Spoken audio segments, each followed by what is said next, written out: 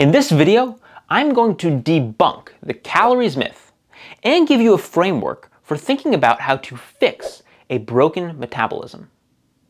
But first I should clarify what I mean by broken metabolism, for your metabolism isn't truly broken. However, it can feel that way for some people when, despite their best efforts at exerting their willpower over their dietary and lifestyle choices, they just can't seem to make progress. Like a bird flying into a strong wind, flapping its wings, expending energy just to remain stationary. But now imagine if that bird, maybe you or a loved one, turned and the wind were at its back.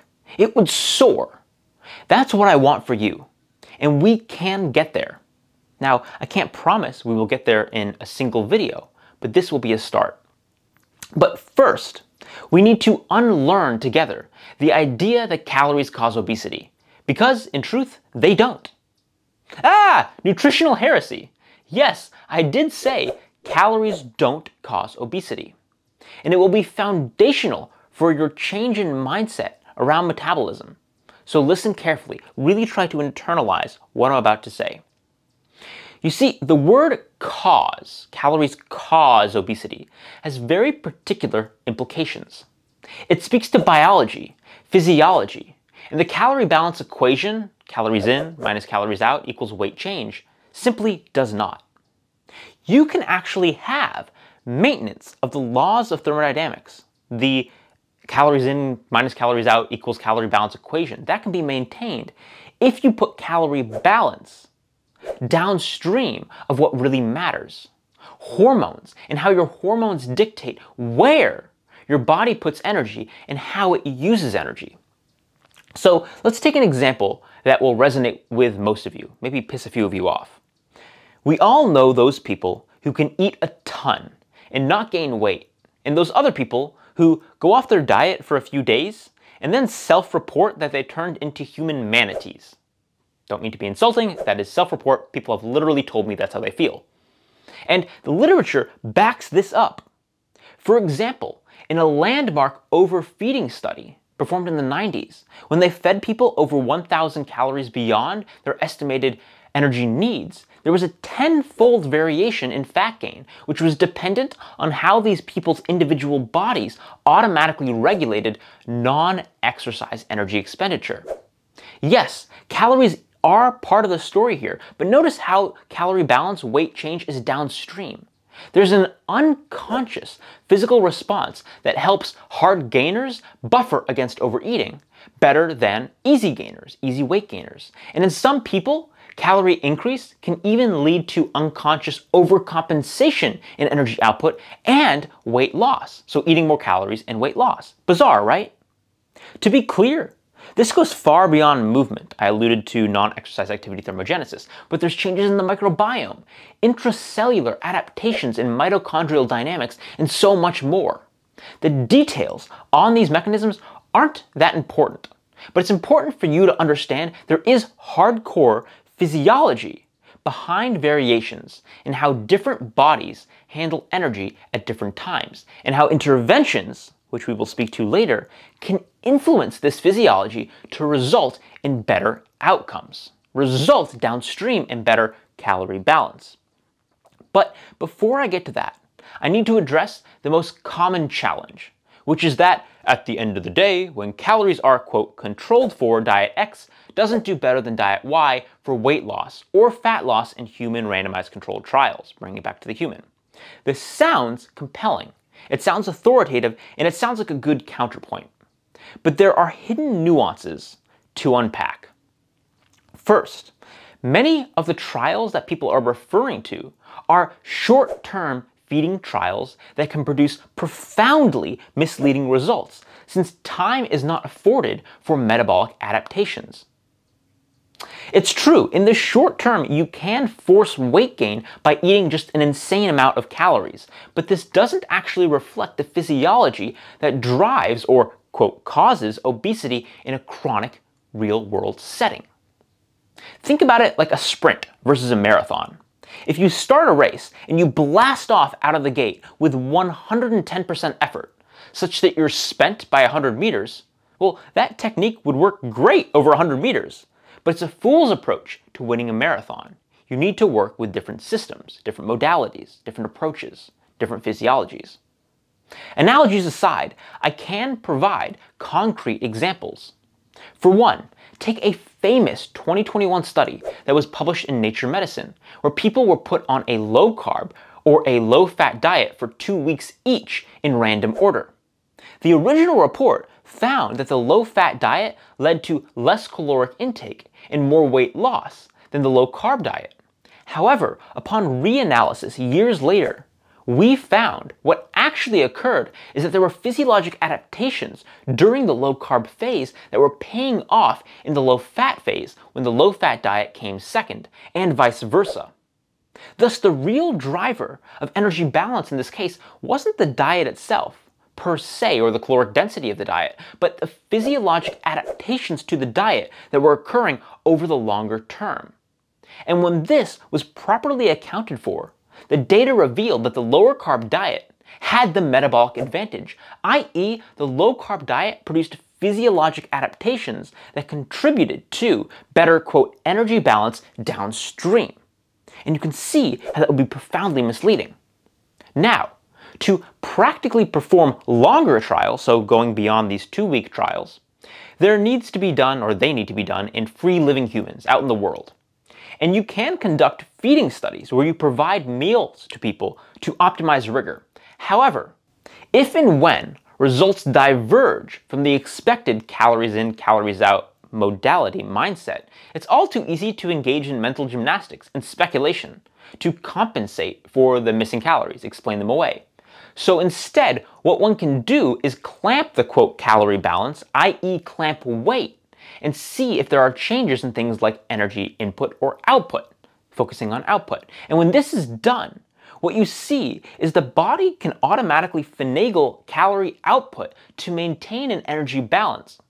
As demonstrated, for example, by increases in total energy expenditure observed when swapping carb calories for fat calories. Again, calories are part of the story, but they're not the primary driver. The calorie balance is a downstream result of other physiologic adaptations. And, like it or not, rodent studies are actually excellent for uncoupling calories from fat gain because you can exert a level of control that you simply can't exert in humans. And the challenge is inevitably, oh, but rodents aren't humans. But this challenge falls on its face, since the core of the debate has to do with whether caloric intake is the primary upstream cause of obesity, a claim that speaks to biological applications of a law of physics that should apply to all living organisms. So if you can uncouple calories from fat gain in a mouse or a rat, there's every reason to believe that you could do so in a human unless one's arguing that physics only applies to humans, and I don't think anybody's arguing that. So all this is to say, the counterclaim that, quote, calorie-controlled trials suggest calories do cause obesity overlooks one, upstream behavioral and physiologic drivers of obesity in free-living people, and two, reveals an implicit ignorance about the practical matters upon which clinical research is conducted. Now to get to the juice of this video, how to fix a broken metabolism. What I mean by this specifically is how to get to a place where you can eat cued by hunger without feeling deprived, and through this lifestyle, achieve and maintain a healthy weight and body composition. And though it might be very bold to say, I do believe this is achievable for every single person. Here are four tips. Now, they might not be entirely novel, but I think you'll find they have a novel spin. Number one, as much as possible, eliminate processed foods from your diet, including artificial additives like artificial sweeteners, sucralose, aspartame, things like that. At a high level, many of these food additives can disrupt your metabolism, contributing to things like insulin resistance, metabolic dysfunction, the quote, broken metabolism, over the long term, even if they include zero calories. And to be clear, this has been shown in human randomized controlled trials as example, as an example, this study from Yale, which showed that when sucralose, an artificial sweetener with zero calories, was consumed as part of a mixed macronutrient intake, it could cause profound insulin resistance and even changes in brain activity. And many of the additives in our food ecosystem can change the microbiome, disrupt normal hormonal processes to alter downstream, alter calorie balance. And it's important to note, this is something really important, the burden of proof is not on the companies that use these additives to prove they're safe in the long term. This means that we introduce many things as a society into our food supply that we don't realize are harmful until many of us have already felt the metabolic burden of their presence. And don't be fooled by the insidious nature of many of the foods that fit into the low calorie diet food category. Because where forced caloric restriction might result in short term success, the adaptations that result, especially in the context of eating fake foods with all these hormonal disrupting additives, may very well toggle your metabolism to your disadvantage over the long term. So that was point one. Point two is to reduce your sugar and refined carbohydrate intake.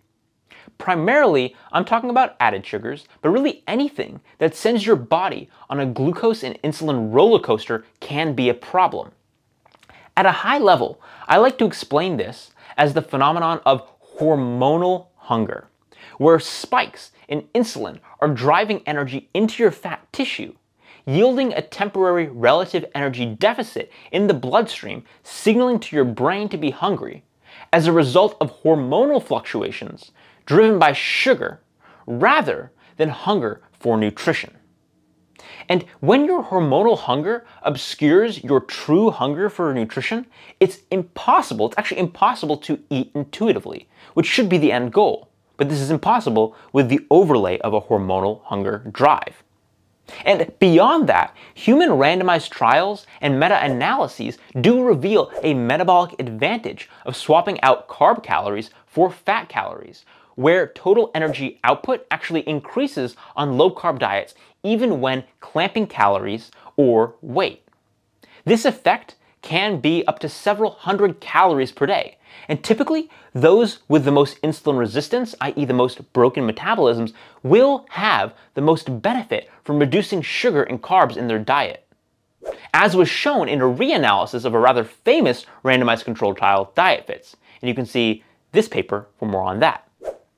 Now, the exact mechanisms of this effect, the metabolic advantage of going lower carb, remain to be elucidated, but it may involve changes in mitochondrial morphology, changes in central nervous system activity, or changes in microbiome structure and function. And on the microbiome, it's also been shown that ketogenic diets can increase your ability to poop out calories. This was a fascinating new finding that I covered recently, and in effect, ketogenic diets can change levels of specific bile acids made by the microbiome, yielding pooping of more calories. And if the calories are in the toilet, well, they're obviously not in your fat cells. That's a joke, of course, but one backed by some biological truth. And if you want the nitty gritty details on that, see this video. There might be some bathroom jokes, fair warning. So, as a refresher, all this centers on terminology around energy, including calories. But energy balance in these cases is downstream. It's a result of physiologic mechanisms rather than the driver itself. By analogy, if weight control were a car, calories are the tires. They're not the steering wheel. They do matter, but they do not direct. Therefore, I argue that it makes far more sense to focus on the physiologic levers versus focusing on calorie intake, even when and especially when the two conflict. Which is possibly why many high calorie foods like avocados and macadamia nuts are associated with, or even in interventional trials, cause weight loss. All right, moving on. Point three exercise. Exercise including cardio and resistance training. It's really important to exercise, including both cardiovascular and resistance training, but not because of calories per se. Rather, exercise can change the nature of your fat and muscle tissue, sometimes without even fat loss. One recent study has even shown that exercisers have healthier abdominal fat tissue than non-exercisers. even when matched for body fat and body fat percent. And exercise overall changes the release of hormones from your muscles, these are called myokines, and from your fat tissue, these are called adipokines, to yield a healthier hormonal milieu, hormonal ecosystem that will favor better hunger control and unconscious energy expenditure in the long term. And here's something else that's really cool. New literature has even shown that intense exercise can boost lactate in the brain, which literally binds to proteins in neurons to reduce anxiety. And now think for a moment what better choices you could make for yourself, lifestyle and diet choices, if your anxiety and your mental health were improved. So, yes, exercise is great in many ways, from muscle to fat to brain and beyond. Finally, my fourth tip I want you to hormetically stress your body with exercise, food, and fasting. In truth, this is more of a mindset tip. But I want you to think of your metabolic health journey as a forever process of healthily challenging your limits, progressively overloading your body and your metabolism so that you make yourself stronger physically, mentally, and metabolically. A metabolic health journey is in large part about mindset. The internalization that the journey itself can be enjoyable, thrilling, a privilege. So what I really wanted you to get out of this initial Fix a Broken Metabolism video was a mindset shift, if you were in need of one. Because there is no pill that I or anyone else can give you that will magically fix your metabolism and save you. Instead, the important thing is to unlearn what maladaptive myths or oversimplifications, if we're being generous, have led you to spend your efforts in a misguided manner so that you can recalibrate, redirect your efforts, and commit to a metabolic health journey that can make you and your life and your loved one's lives by extension that much better, better than you could have possibly imagined. Anyway, with that, sorry, I'm getting sentimental here. Stay curious, and I hope you found some value in this unconventional video for my channel.